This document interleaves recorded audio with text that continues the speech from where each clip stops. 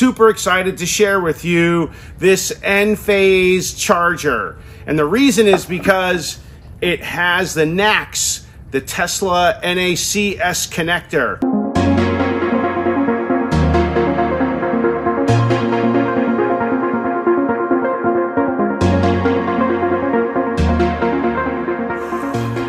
Hey guys, Trust Ted, Tesla owner, Silicon Valley. Today I got another review for you. Now I know what you might be thinking. Hey Ted, we already know about Enphase and how they make solar panels and chargers or whatever, and we already saw your review. Well, this one is something you haven't seen. Super excited to share with you this Enphase charger. And the reason is because it has the NACS, the Tesla NACS connector. So as always, we'll be going through the product, the functionality, the installation, the price value, and then at the end, I'll give it our final rating. Let's get on with the review. All right, guys, I'm going to do an unboxing video, but I, I need to fall on my sword. I already did one, but it was a really bad recording um, because I moved the box and you couldn't even see half of what was happening. But anyway, let's get into it and show you what it's basically going to look like when you get it. Um, on top, there's the documentation, so that's great. I'm just going to put that aside. The uh, charger is housed in here, it's protected. There is a holster here where you're going to put the NACS cable in there. I'll put that to the side. To get rid of this here and the charger is in this container. Um, it's again safely packaged. It's got some weight to it. Uh, gonna be, you know, really frank. It's definitely not super light, but this is what you want. You want something that's well built. So the um, Enphase charger, if you guys don't know or haven't heard of Enphase, they make solar panels. They bought Clipper Creek that was the charger company previously that made awesome chargers too. Um, Enphase, what's awesome about this system is that my solar panels are also using Enphase inverters, micro inverters. And so this is gonna allow me to charge um, from the sun only if I want to. That's an option. So it does connect to Wi-Fi, which we'll show you. And then the last thing, um, a long 25 foot cable length, which is great. And most important for those of you who have a vehicle with the Tesla or NACS, um, really, actually a really nice, great handle, um, nice look and feel. So um, that's the unboxing. I thought I would also show you guys the documentation that comes with the kit. Now, you can actually look in the link below the previous video I did where I installed the Enphase charger, um, which had the J1772. I'm actually going to take that charger out when I install this NACS one. But, um, you know, the, these are the bolts that hold the charger in, and these are spacers depending upon, you know, how you, you're going to mount the uh, charger. And um, so, like, everything you need inside, really great.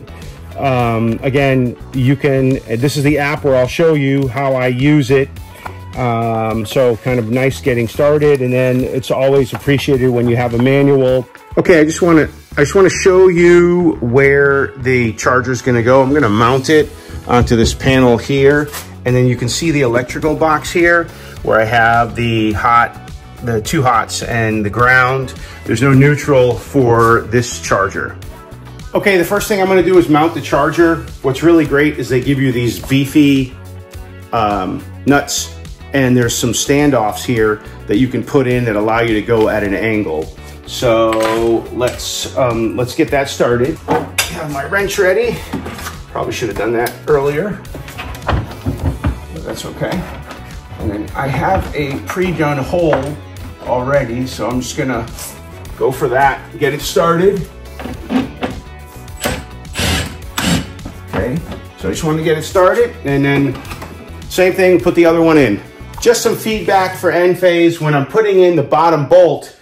Uh, if the future designs, if you can leave a little more room between these two conductors, that would allow the drill to get a little easier to go up. You don't have a lot of room here, and every time, every time I try to screw it up, it's constantly hitting the button to like stop it from going forward.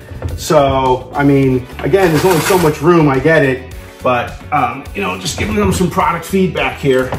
Be great if they could uh, have a little bit more room. So I think the other option is to just get a socket extension, uh, which obviously is good to do if you have one. Even without one, I was able to tighten it. All right, let's keep going. All right, the next thing I'm gonna do is install the holder. So it's funny, when I first saw this, I was like, oh, it must go like this. And I was like, what? It's a tight fit. No, actually, you have to mount it like this. So um, this is this is how you have to mount it.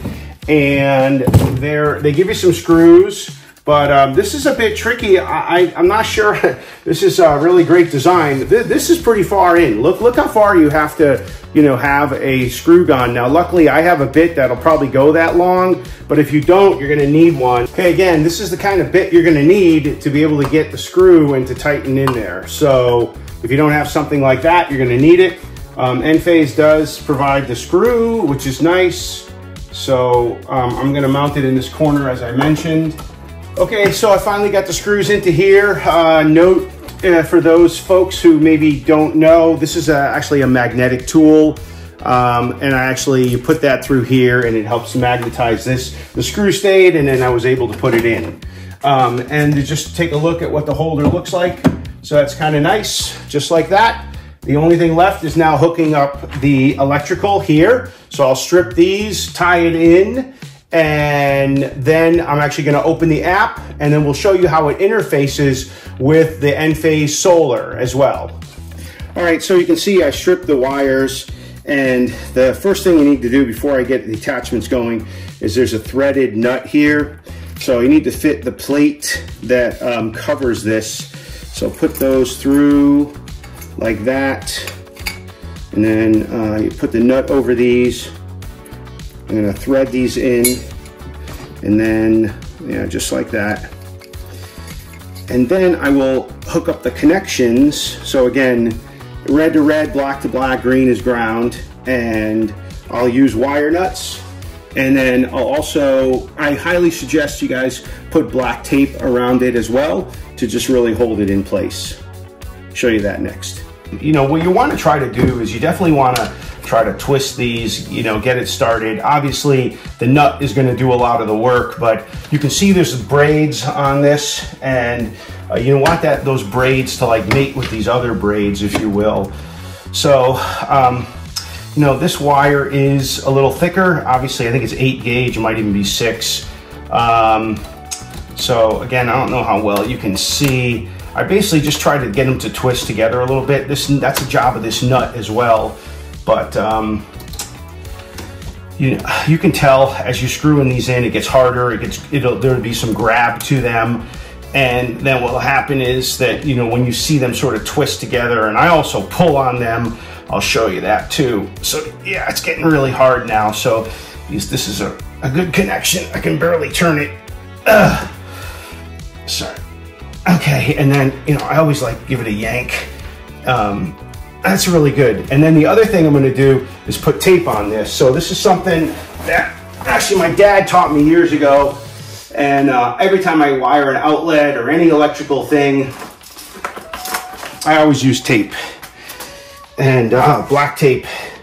And also I always buy 3M, something made in America, like something that really works, holds together.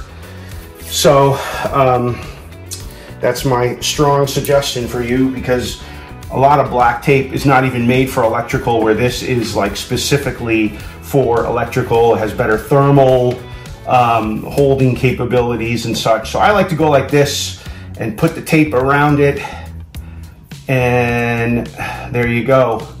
So now that's nice and snug. That's gonna hold and I'll do that to the green and then to the red.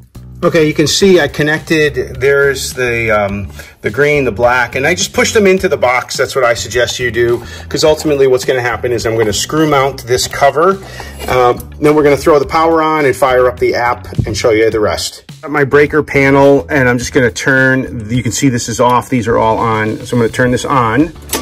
Okay, that means at least I wired it right. Okay, when I come inside, you can see the power button is there. And so the next thing I'm gonna do is get this hooked up to my Wi-Fi and then show you the app. You are in the Enphase app and you can see there's a few different fields here. Here's my solar production and consumption currently. So what you do is you go into the menu, settings, and then you go to profile, and then under profile, you'd say edit. And then here, you can see I have self-consumption turned on. Now, that's really simple how you do it. To show you exactly um, what the report would provide, I'm just going to go back uh, right here to this graph. And so what you can see is, again, the solar production in blue and orange is the consumption for everything else. And then that red line graph, that's actually the charging of the EV. So the system in 2.4 kilowatt increments. It looks at how much power is being consumed versus what's available and generated, and that's the that that's what provides to your Tesla. So um, that's kind of the only negative I would say is the increments. It would be nicer if they were smaller, but according to Enphase, they only have four steps, and so it's 2.4 kilowatt increments.